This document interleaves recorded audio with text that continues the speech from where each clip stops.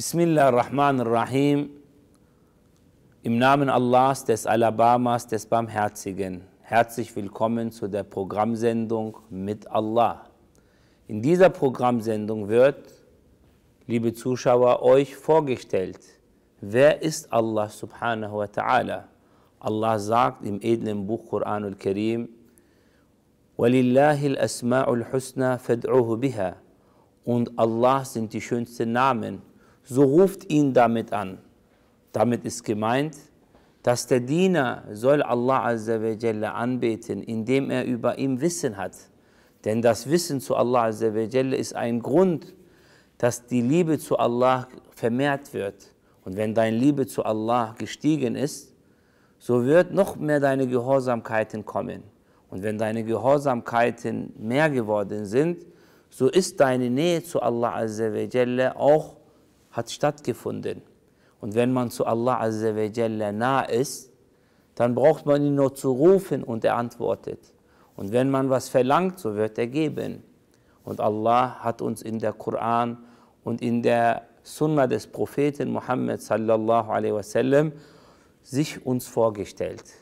Einer seiner Namen ist Allahur Rafiq, Allah der Sanftmütige, was wir heute mit euch bearbeiten möchten. Ar-Rafiq in der Sprache bedeutet sanft, gefühlvoll, mild. Und in der terminologischen Bedeutung heißt das der absolut Gefällige in seinen Taten. Er, Allah, der Gepriesene, ist sehr, sehr geduldig und geht seiner Erschaffung und in seinen Befehlen stufenweise vor und behandelt seinen Dienern mit Sanftmut, Behutsamkeit und er verpflichtet ihnen nicht zu etwas, das er nicht leisten kann. Und er, der Gepriesene, liebt seinen Dienern, der sanft ist. Dieser Name ist in der Sunna des Propheten sallallahu alaihi wasallam uns überliefert worden. Das heißt, Allah ist niemals das Gegenteil von diesem Worts Bedeutung. Das heißt, Allah kann niemals und ist strengstens verboten und wer das tut, hat Allah was behauptet, was gelogen ist, dass Allah wäre gewalttätig, hart, gnadenlos, brutal, böse, grausam.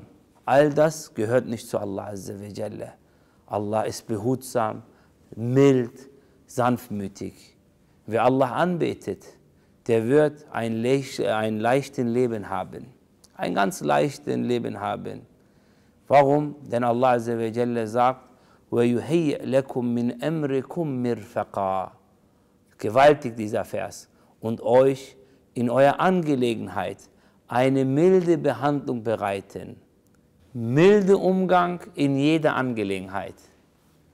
Imam Bukhari, einer der großen Hadith-Gelehrten, der die Aussagen und Taten des Gesandten والسلام, in seinem großen Werk gesammelt hat, hat ein Kapitel geschrieben, milde Umgang in jeder Angelegenheit.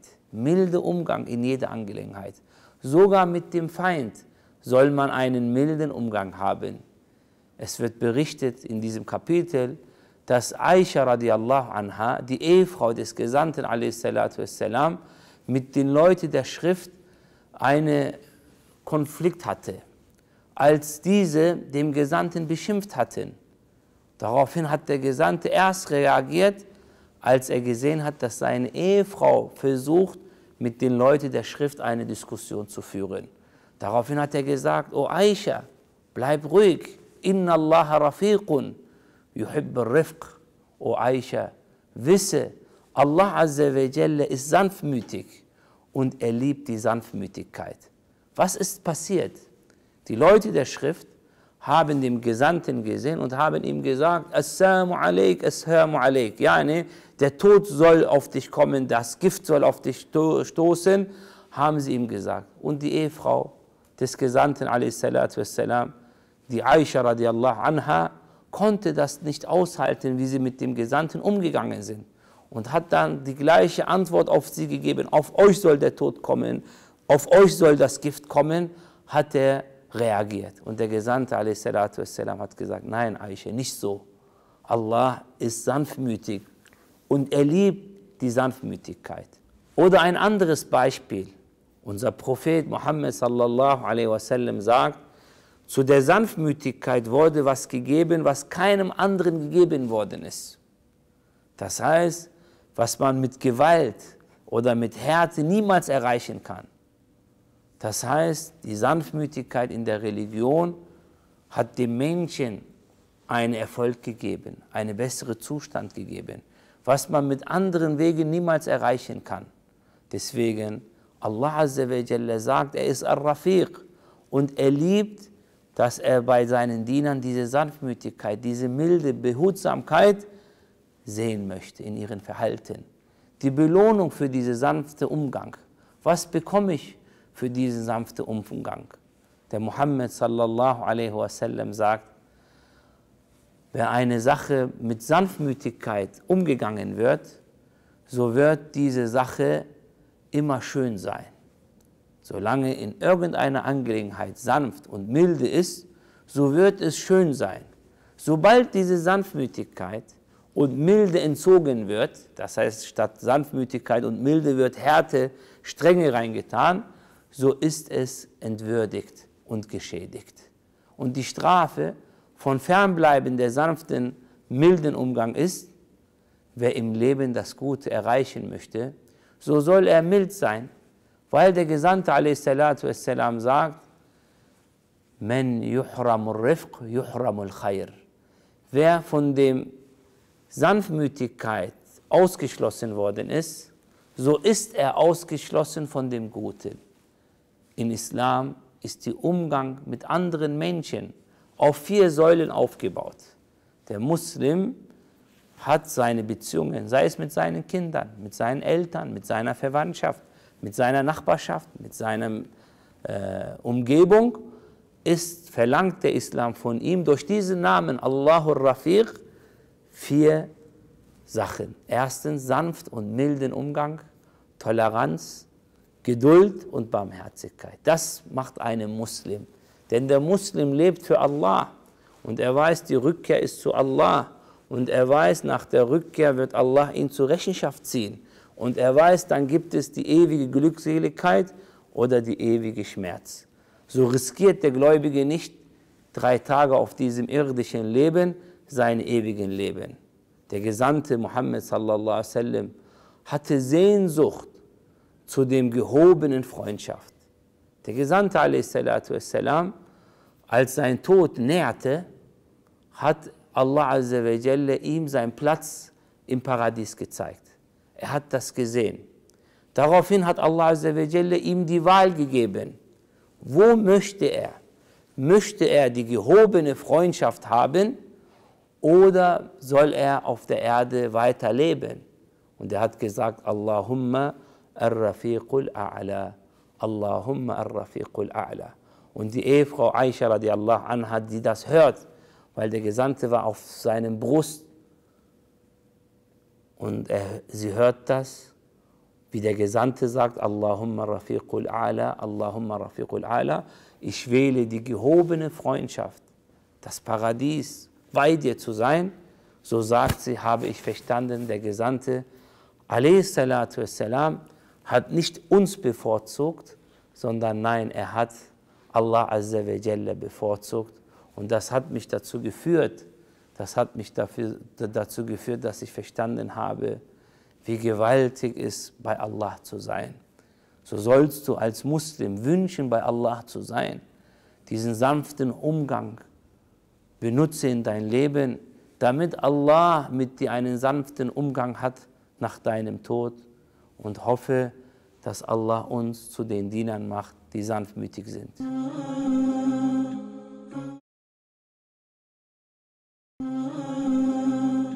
Allahur Rafiq. Allah ist der Sanftmütige, der Behutsame, der Milde. Der Name Ar-Rafiq hat mit Allah auch andere Bedeutungen. Erstens, eine andere Bedeutung ist, Allah ist der Erleichterer, Vereinfacher. Das heißt, Allah Azza wa Jalla ist nicht nur der Sanfte, sondern auch der Erleichterer. Was heißt das? Warum? Damit wir das Gute erreichen können. Zum Beispiel Koran lesen. Koran lesen und zu verstehen ist gewaltig. Allah sagt im Koran al-Karim, im edlen Buch, und wir haben den Koran ja leicht zum Bedenken gemacht. Aber gibt es jemanden, der bedenkt? Ist gewaltig. Du sollst überlegen über diesen Namen, dass Allah subhanahu wa ta'ala uns erleichtert. Zweitens, dieser Name ist auch das Gegenteil von Hastigkeit, Überstürzung, Hektik. Allah Azza wa Jalla ereilt nicht mit der Strafe der Sünder. Es gibt so viele Sünder auf der Erde. Jeden Tag, jeden Abend, jede Nacht wird gesündigt. Aber er eilt nicht mit der Strafe der Sünder. Er hat in seinem Wesen und in seinen Taten sanft und milde. Der ist viel geduldig. Er ist viel geduldig. Guck mal, wie die Menschen ihn beschimpfen, über ihn lästern, über ihn äh, beigesellen, über ihm ganz schreckliche Sachen sagen und trotzdem er versorgt sie und trotzdem hat er mit ihnen milden Umgang und trotzdem hat er die Tore der Barmherzigkeit, Tore der Reue, Tore der Vergebung nicht zugemacht. Allahs Milde ist bei seinem Geschöpfe auch sichtbar. Du kannst das sogar bei den Menschen sehen. Auch einige Menschen es nicht spüren heute leider, kann man sehen, Allah wie mild ist. Schau zum Beispiel bei den Kindern, die Milchzähne haben. Wenn diese äh, Milchzähne fallen, wie fallen die? Ohne Betäubung, ohne Spritze, ohne zum Arzt zu gehen. Ein älterer, der muss seinen, Arzt, äh, seinen Zahn beim Zahnarzt rausziehen lassen. Aber ein Kind, weil Allah ist Al-Rafiq, er lässt die Milchzähne fallen ohne Betäubung oder Spritze. Er, Allah, ist immer anwesend mit seinem Wissen und Macht. Wahua ma'akum. Und er ist mit euch. Ist gewaltig. Wenn der Diener weiß, Allah ist mit mir, das heißt, was für eine milde Umgang. Welche Fürsorge, welche Interesse Allah zeigt zu seinen Dienern. Schau, der Luftdruck auf den Menschen. Auf der Erde gibt es Luftdruck und wir spüren das gar nicht. Wenn wir tauchen, dann ist das Luftdruck noch stärker geworden. Aber auf der Erde, wenn wir laufen, es, wir fühlen gar nicht diesen Luftdruck. Das zeigt doch, Allah ist barmherzig zu seinen Dienern. Allah Azza wa Jal ist barmherzig zu uns. Er ist mild und sanft. Allah Azza wa Jal ist behutsam. Allah ist barmherzig zu seinen Dienern. Akzeptiert die Reue. Vergibt den Dienern wenn sie Reue machen. Das deutet doch zu seiner Milde. So sollen wir in unserem Leben einführen, als Muslim, der konsequent lebt, strebt die Eigenschaften, die vollkommen sind von Allah Azza wa Jalla, in seinem Benehmen einzufügen. Der Mensch soll sanft und mild sein, damit er sein Ziel erreichen kann. Der Islam befehlt uns, sogar mit andersdenkenden Menschen, einen Umgang zu haben, das schöne Umgang ist, eine schöne Ermahnung, eine schöne Diskussion in bester Art und Weise. Auf keinen Fall ist erlaubt, hartherzig, schroff zu sein. Der Prophet Muhammad sallallahu war nie hartherzig, nicht mal zu seinen eigenen Freunden und Gefährten. Allah sagt im edlen Buch, wärst du aber schroff und hartherzig, so werden sie wahrlich rings um dich auseinander weggelaufen. So verzeih ihnen, bitte für sie um Vergebung und ziehe sie in den Angelegenheiten zu Rat. Und wenn du dich entschlossen hast, dann verlasse dich auf Allah. Gewaltig das Benehmen Muhammad sallallahu alaihi. Einer der größten Erfolg des Gesandten sallallahu alaihi wasallam war seine sanfte Umgang, obwohl ihm reichte der Koran. Er hätte argumentieren können nur mit Koran und wer nicht glaubt, hat selber Schuld, könnte er sagen. Aber er war sehr äh, sanftmütig. Er war auserwählt von Allah Azza wa Jalla. Das war schon als Argument ausreichend. Aber er war sanftmütig. Der beste Geschöpf hatte viele Wunder, aber trotzdem er war sanftmütig. Er war der Beste in der Rhetorik, aber trotzdem er war sanftmütig. Das hätte alles ihm gereicht um am jüngsten Tag vor Allah Azza wa Jalla zu sagen, ich habe meine Aufgabe gemacht. Er hatte Wunder, er war der Beste in der Rhetorik. Und trotzdem, er ist sanftmütig. Mahlan ya Aisha, langsam, O Aisha, für inna Allah yuhibbu rifq fil amr kullih. Langsam, O Aisha, Allah liebt die Sanftmütigkeit in jeder seiner Angelegenheit. Allah liebt die Sanftmütigkeit, die Milde, die Behutsamkeit in jeder seiner Angelegenheit. Zu wem soll man mild sein? Hast du immer noch nicht verstanden? Zu wem sollst du mild sein? Erstens, sei mit dir selbst mild. Füge dir keinen Schaden. Im Religion gibt es nichts, was erschwerlich ist, sich selbst Leid zu fügen. Wenn du heute siehst, einige Sekten, die im Namen Islam sich selbst Schaden fügen, sich in die Luft sprengen, sich mit äh, Ketten schlagen, das ist nicht Islam, weil Allah ist Ar-Rafiq und er liebt Sanftmütigkeit und verlangt, dass wir sollen mit uns selber sanft umgehen. Sogar hat der Gesandte Muhammad sallallahu sallam Leuten verboten, sich selber Schaden zu fügen in der Anbetung. Das Hadith mit dem Seil in der Moschee, als der Gesandte das gesehen hat, was ist das? Sie haben gesagt, deine Frau Umm Salama, sie kann nicht beim Gebet viel auf den Füßen stehen, so hält sie sich an dem Seil, damit sie nicht auf den Boden fällt. Der Gesandte hat gesagt, schneidet das weg. Allah braucht keine Anbetung, was der Mensch sich selber Leid zufügt. Deswegen soll man wenig Anbetung machen, aber kontinuierlich. Und das ist das Beste. Nicht viel und sich kaputt machen, sondern mach das, was du machen kannst, aber mach das ständig, in schöner Art und Weise, mit Überzeugung, mit Aufrichtigkeit, mit Liebe, mit Hoffnung, mit Furcht. Im Islam ist Übertreiben verboten, weil Allah ist Ar-Rafiq, der Sanfte. Das einzige Religion, wo sagt, übertreibt nicht, ist der Islam. Das Beste, was man sich selbst Gutes tun kann, ist ständig ausgeben und spenden. Allah Azza sagt das in Koran und Karim und gebt auf Allahs Weg aus und stürzt euch nicht mit eigener Hände ins Verderben. Das heißt, wie kann ich mir ständig was Gutes tun? Ausgeben. Allah sagt und gibt auf Allahs Weg aus und stürzt euch nicht mit eigener Hand ins Verderben. Zu wem soll man mild sein? Zweitens, zu den Frauen. Zu deiner Frau sollst du mild sein, zu deiner Mutter, zu deiner Schwester, zu deinen Töchtern. Schaut, was der Gesandte sallallahu alaihi wasallam sagt. Nur ein ehrenvoller Mann erweist der Frau Ehre und Respekt. Allahu Akbar.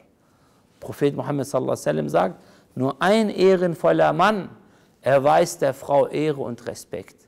Hast du Respekt zu der Frau? Dann bist du ehrenvoll. Wenn du hast nicht mal Respekt zu deiner eigenen Mutter, zu deiner eigenen Ehefrau, zu deiner eigenen Tochter, dann wie kannst du von Respekt und von Ehre reden? Allah sagt in Koran und Karim, وَعَاشِرُهُنَّ بِالْمَعْرُوفِ und geht in rechtlicher Weise mit euren Ehefrauen um. Gewaltig. Wir sollen in rechtlicher Weise, ja mit Sanftmütigkeit, behutsam umgehen. Die Erklärung dieses Verses ist nicht nur, du sollst die Frau schützen vor dem Übel, sondern bereit sein, die Schäden von Frau aufzunehmen. Wisst ihr, es gibt über 1400 Rituale, Sunna im Haushalt, wie der Gesandte wassalam, umgegangen ist. Zu wem soll man mild sein? Zu den Eltern soll man gütig sein. Und dein Herr hat bestimmt, dass ihr nur ihm dienen und den Eltern gütig sein sollt. Sogar Pfui sagen ist verboten, dürfen wir nicht sagen. Zu wem soll man mild sein? Zu den Kindern. Zu den Kindern zu allen Menschen. Beispiel ist, schaut Omar radiallahu anhu, als der Amtseintritt begangen hat, er hat eine Ansprache gemacht. Der Khalife, der zweite Khalife. Und er hat gesagt, ich werde wie der Vater der Familie zu euch sein. Vertriebene suchen und hole sie zurück und gewinne ihre Herzen. Möge Allah uns diese Sanftmütigkeit geben. O Allah, mache uns sanftmütig in allen unseren Anliegen. Walhamdulillahi Rabbil Alamin. Alles Lob gehört Allah, dem Herrn der Welten.